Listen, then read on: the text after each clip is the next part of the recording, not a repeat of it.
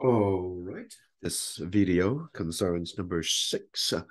So for number six, we are talking about whether it's an even or odd function. Now, before we go into this particular question, I just want to make sure that we have a firm understanding of what's an even function and what's an odd function.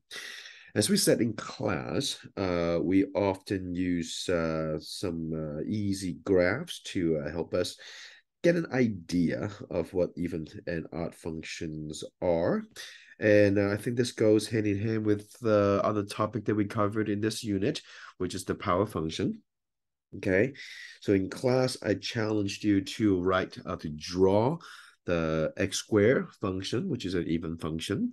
And then I also challenged you to write, to draw the uh, x cube uh, cubic function, uh, which is an odd function. Okay, so if you can draw these two, that gives you a lot of hints already, a lot of cues that, well, if you have a, uh, if you have a graph that's um, that's reflected over the y-axis, then it is an even function, and uh, and and mathematically, what do we? How do we describe?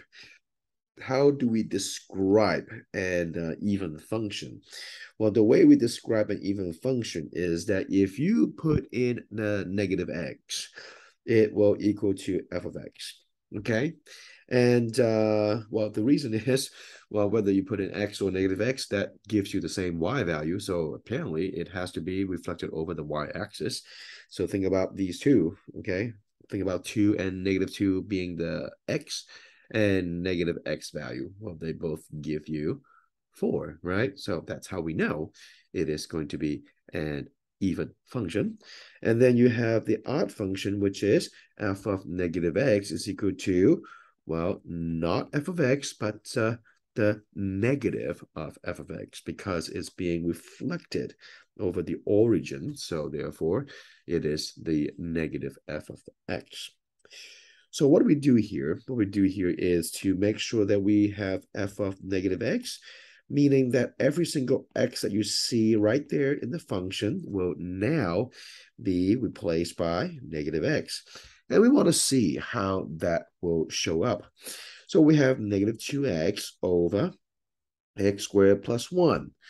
So what you see here is that, well, this is the original function, right? This is the original function. Well, this looks like the original function, don't we? This looks like the original function except that now we have a little guest right here, which is the negative part. So with that, we can claim that f of negative x is equal to negative of f of x. And having this as our evidence, we can go ahead and make the claim that this is definitely an odd function. So, so make sure that if you ask yourself, if you have to prove a function, whether it is even or odd, do you know what is the action? Okay, ask yourself that very simple question. Do you know what the action is? Number one. Number two, do you know what we are looking for here?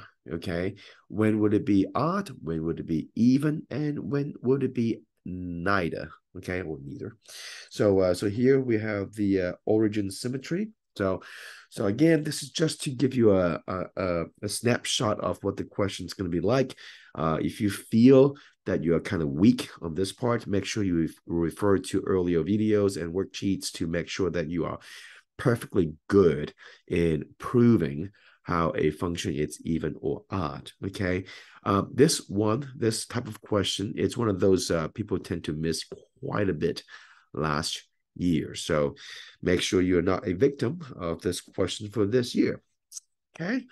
So uh, this will conclude this video for number six, and I will talk about question seven uh, in the next video.